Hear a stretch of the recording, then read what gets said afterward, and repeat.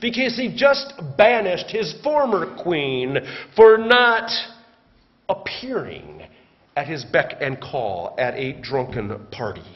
Smart gal. So there's a search. A search for a new queen. A search for the most beautiful maiden in all of the kingdom. It sounds like we're in a Disney thing. And people come to the house where all the gals get together. Can you imagine just the little bit of bickering that you see, or the lot of bickering that you see on the bachelor? She said this, she said that. What was going on in the citadel of Susa, the capital city of Persia? Well, they all came to the house for a year's worth, it says, of beauty treatments. And a young Jewish woman by the name of Hadassah was among those beauties who came to Susa. And as it turns out, in the final rose ceremony, she was chosen.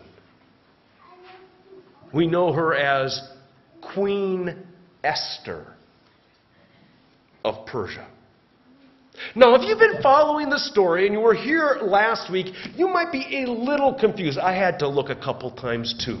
Because last week, when Mark Carlson preached, and as we read in chapter 19, the people of Israel, the children of Israel, had been captive in Babylon for many decades.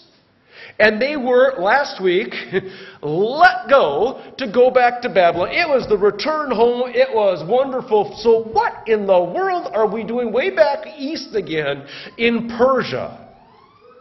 Well, a short answer would be when the Persian king Cyrus conquered the Babylonians, he looked around and said, What are all these Jews doing here? Y'all go home to Jerusalem, rebuild your temple, I'll even fund it for you.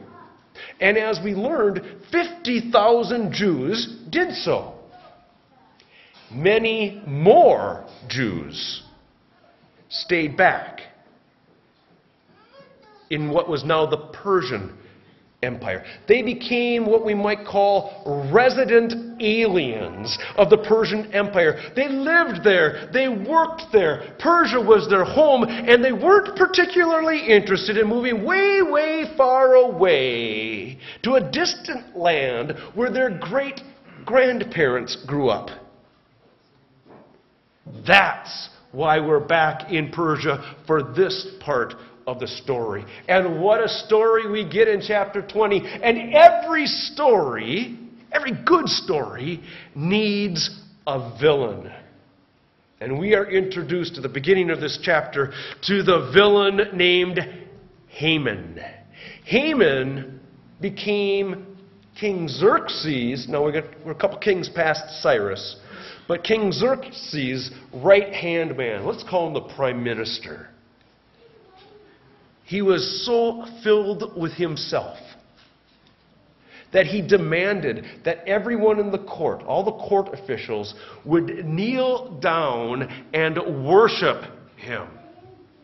Well, there's this one guy with a funny name, at least if you were in the Midwest Mordecai. It never even crossed my mind to name my son Mordecai.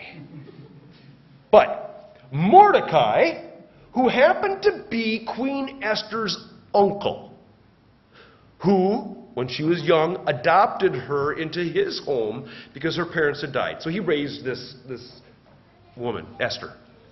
Mordecai would not bow down. That ticked Haman off who subsequently devised a plan not only to impale Mordecai on a 75 foot pole very publicly, but also to exterminate all the Jews living in the Persian Empire. If you have your copy of the story with you, turn with me to page 280.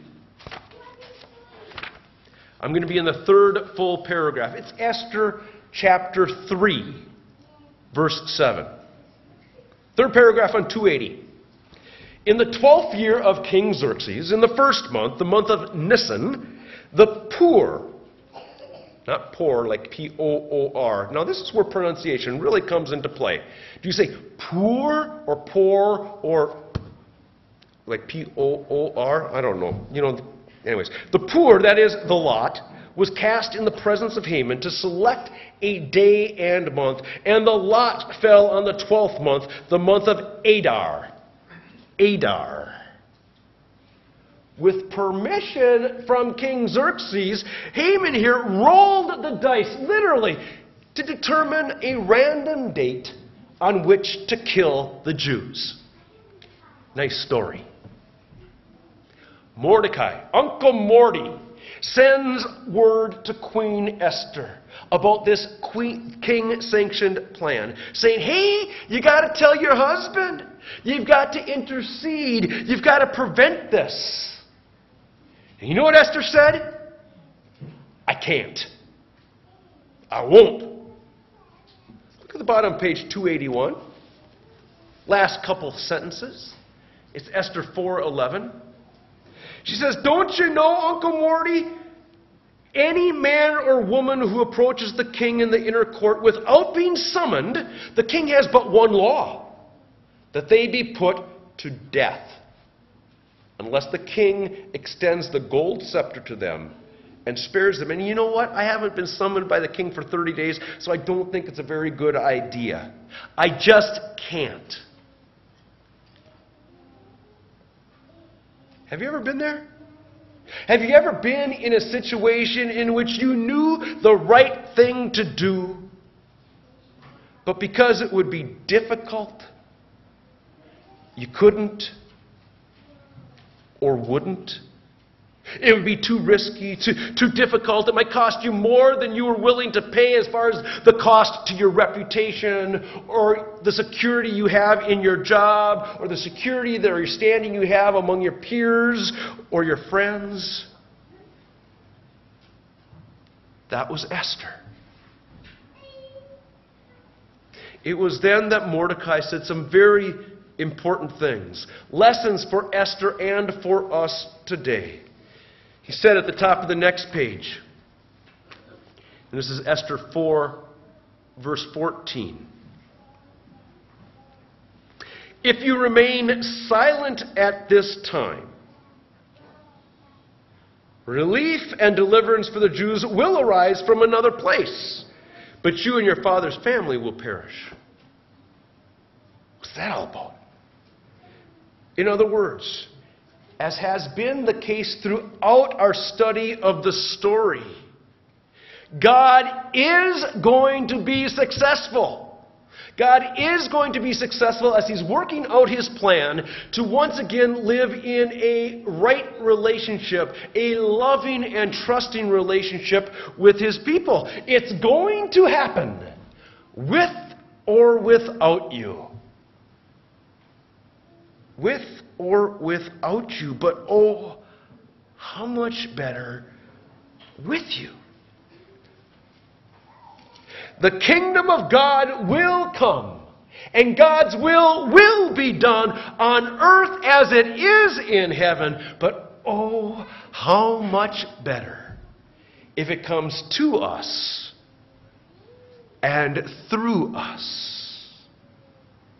For whatever reason, God has chosen to work through people like you and like me, like Mordecai and like Esther.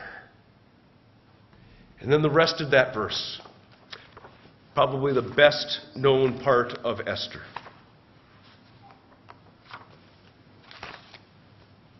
And who knows, says Mordecai, but who knows but that you have come to your royal position for such a time as this.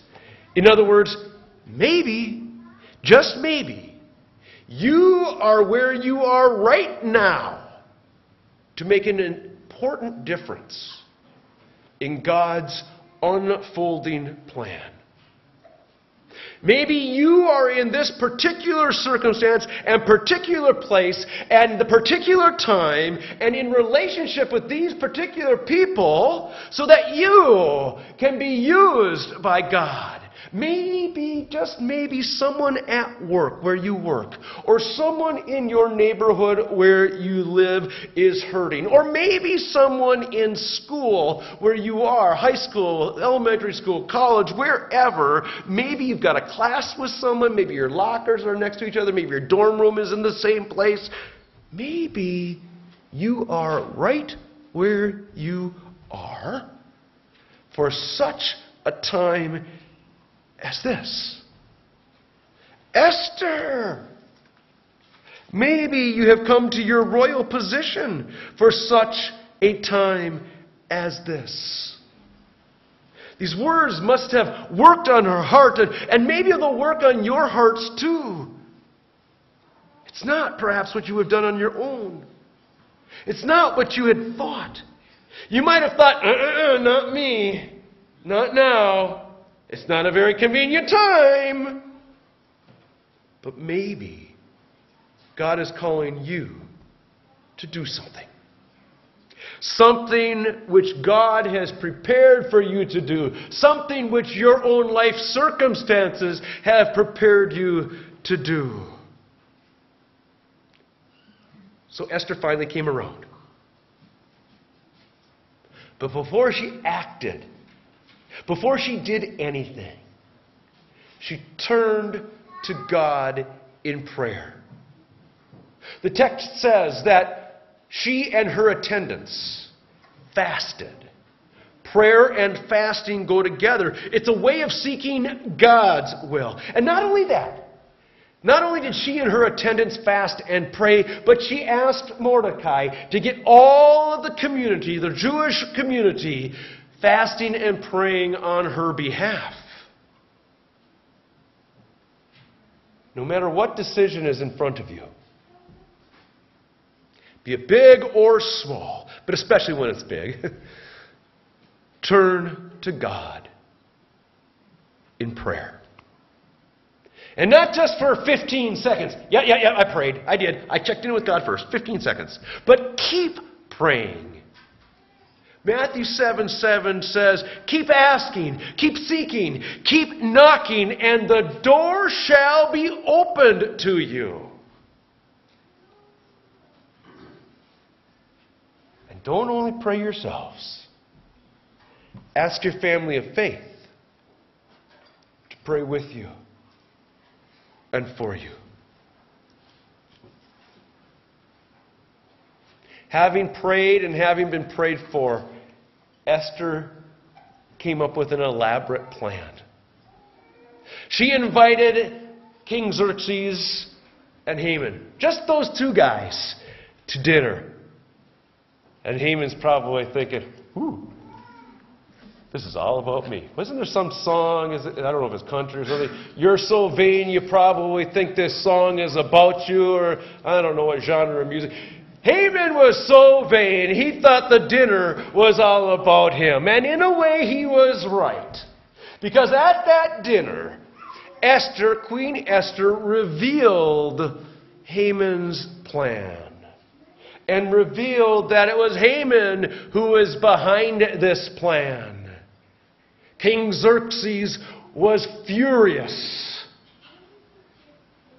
and had Haman impaled on that same 75 foot pole that Haman had erected for Mordecai. Oh, the turn of events. The other thing that King Xerxes did, remember that edict? They rolled the dice. There's the royal edict that the Jews should be exterminated on Adar the 13th, it was. Well, kings can't reverse kingly decrees. I don't know why, but once it's sealed with that signet ring, you can't reverse it. But what he did is he issued a subsequent edict that the Jews on Adar 13th could defend themselves, which they did. When the day came about, Adar 13, the day decided upon by the casting of lots, the casting of Pur, the Jews survived because they did defend themselves. And to this day, Jews continue to celebrate Purim. Can you say Purim? It's like the town, but it's not spelt the same, okay? The last sentence of chapter 20 in the story, and I'm sorry I don't have the biblical reference. But it says, And these days of Purim should never fail to be celebrated by the Jews, nor should the memory of these days die out among their descendants. Purim begins at sundown two weeks from now. Sundown on March 15th, 2014. And the Jews, because their days start at sundown. And the Jews across the globe, including Minnesota, will gather for feasting and celebrating and gift giving and intentional service to their neighbors as they remember what God had done for them, when they remember in thanksgiving that God had delivered them and rescued them. That's their story. They celebrate that 30 days after Purim with the celebration of Passover when God delivered them from slavery in Egypt. So I want to wrap this up. What life application points are there for us? I've talked about them already, but one, like Mordecai, be resolved in your faith and don't bow down to the waves of the world. Mordecai didn't bow down to Haman, nor should we. Stand up for your faith. Like Mordecai, be an encourager. An encourager. Mordecai encouraged Queen Esther to do the right thing. Scripture tells us, therefore, encourage one another and build up each other, as indeed you are doing. Three, like Esther, whenever you are faced with decisions, big or small, take it to God. Take it to God in prayer. Seek God's will and invite others to join you in that prayer.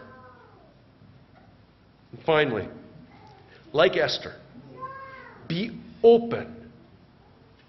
Be open to being used by God for such a time as this.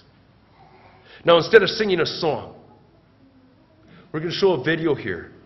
It's a video of a song called For Such a Time as This by an artist by the name of Wayne Watson. And as you listen to it and watch it, I want you to ponder what is God calling you to do?